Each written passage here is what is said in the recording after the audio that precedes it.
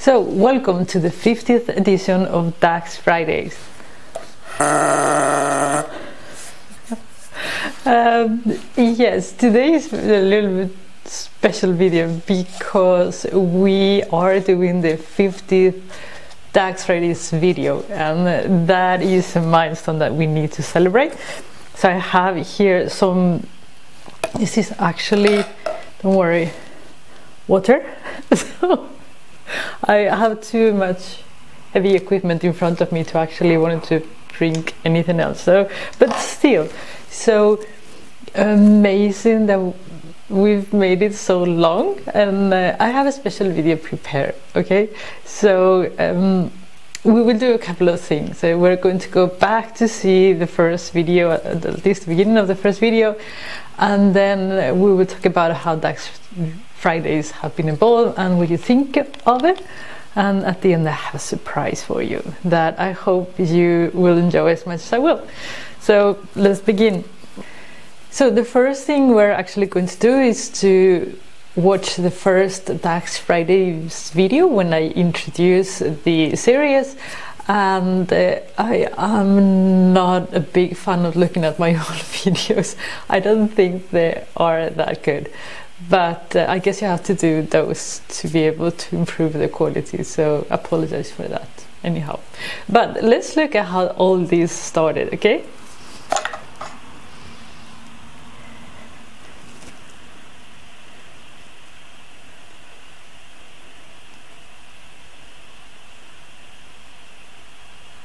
Hello and. This is uh, Ruth from Curbal.com and today I want to try something new. Uh, I'm calling it DAX Fridays and the idea behind this is that I will go through a new DAX measure every Friday. So the purpose for this is that uh, both you and I would uh, learn new measures uh, and we can even uh, know, get reminded of old ones that perhaps we're not using that often but they are still very useful.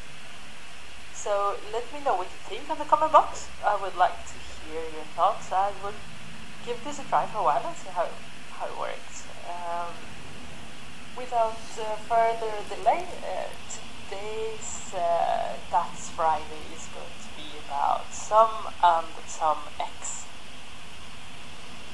So, so that's how everything started. And uh, I remember I got like super nice comments. So I'm from Brazil. I'm loving your short videos, and I've, I remember love your idea. I hope it goes for a long time. And the very first comment, wonderful idea. I would prefer two or three DAX uh, days more. Uh, so it was uh, it was fun already from the beginning. I have to say that.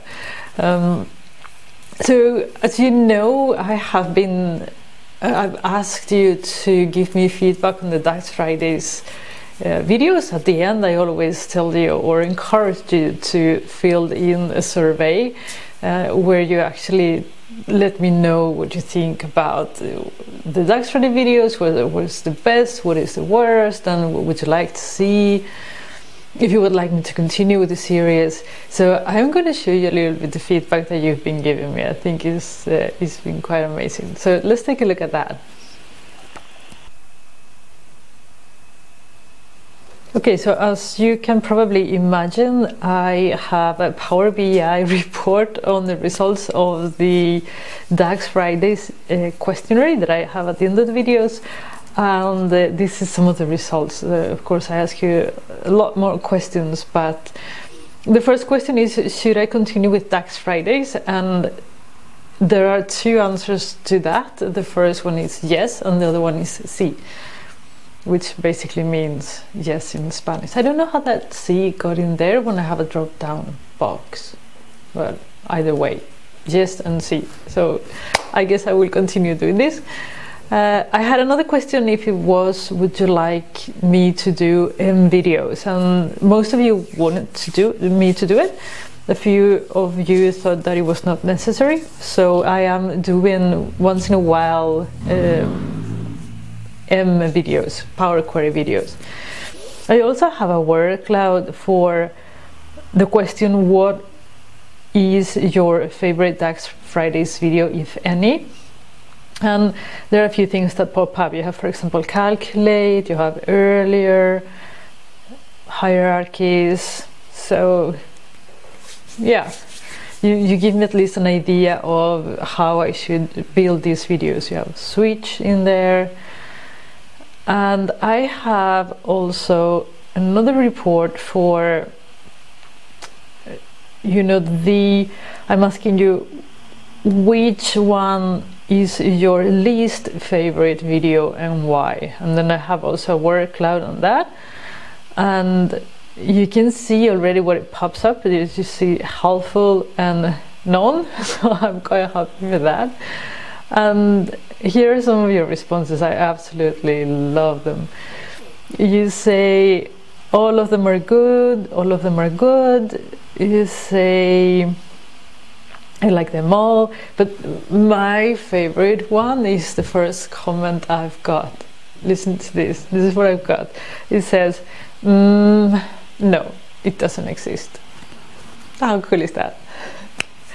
but there are comments where you know some of you thought that some of the videos were not very useful or clear, and actually the one that was the least useful or at least the least helpful perhaps, is the count video. So I will do a recap on that in coming uh, DAX Fridays video. So perhaps I could explain the function in another way that makes more sense. But uh, other than that, uh, you have found that the DAX videos have been very, very helpful, and I am really happy for that. So that is excellent news. So what we are going to do now is actually we're going to go to the surprise. And uh, this is a resource that I've been working for a while and it is fairly ready, but there are a few things that I haven't been able to fill it with all the content yet. Um, let me show you so you know what I mean.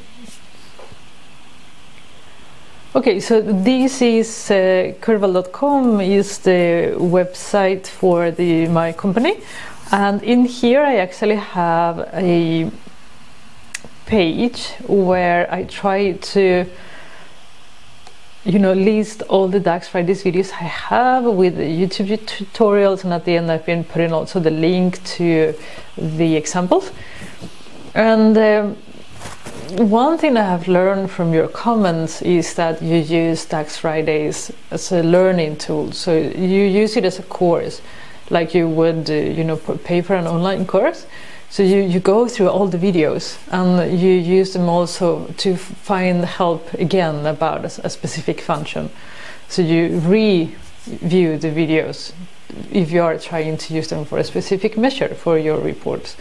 So I actually do the same. I, I view my videos when I forget something or, or when I specify something in the video that I just can't really remember, okay, how, how was that done? So oddly enough, I use my own videos as a resource, but you know, to actually go and find the videos is not so easy. Um, for a lot of them, you know, they pop up in Google like quite high up, so that is not a problem but others that are new that might be a little bit more difficult to find. So I've actually created a glossary and let me show you. It is, I think, a useful resource. It will be definitely for me and hopefully for you too. So let's look at this. Uh, this is a Power BI glossary. It will be live, uh, you know, after this video is uh, released. And uh, the idea with this glossary is that you will be able to actually search for a function by you know searching on the search box there and then you can just click on calculate and it will give you some information it will give you first, this is the link to the Microsoft pages. Okay, so I'm not trying to replicate what Microsoft is doing at all. It's, this is just a resource for finding Curbal information. So sometimes you will have to go to Microsoft pages to find more specific information about this measure. But what you will find here is a link to the Microsoft documentation. You will find the link for the uh, tutorials. The tutorials are embedded so you can watch them here. And you will also find the download example. I have also added the remarks that Microsoft have in the documentation because I find them very, very useful. And I think they are nice to have them on hand. So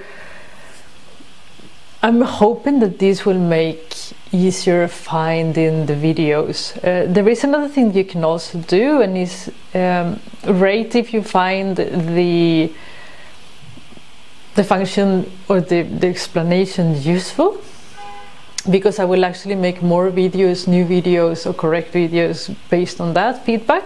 And then you have also the opportunity to write a comment and say, hey Ruth, uh, I don't know, could you do this uh, or I, I, would rather specify it like that or I think this part was wrong, I think it should be that way. So in that way we they give me feedback on it and I can actually improve these and hopefully will be a good resource in the future for everybody. Um, so let me see, we have, uh, you have a few possibilities on how to search on this. You have here the categories and then you can choose DAX, M or Power BI. I just have one M function for now. And as I build more M videos, I will be doing more, I'm putting it here, but I don't have a lot of M videos yet. I have like a Power BI definitions. If you click on here, you will see, for example, variables. That is not a measure, it's just a function. So like specific Power BI stuff will be included. And then we have just DAX functions. And you can just filter there and then you can just click on the letter to see which ones I have available. I have like around 50% of the videos I've done and, and I'm filling the resource as time allows. I thought actually that I will have the time to do everything, but as you probably are aware, the brings the links on my website broke, all of them, so it's taking a lot of time to, to fix that mess. So I couldn't really have time for both. But you have a lot of information here already, so hopefully this will help yeah, so this is all for today's DAX Fridays. I hope you enjoyed the resource.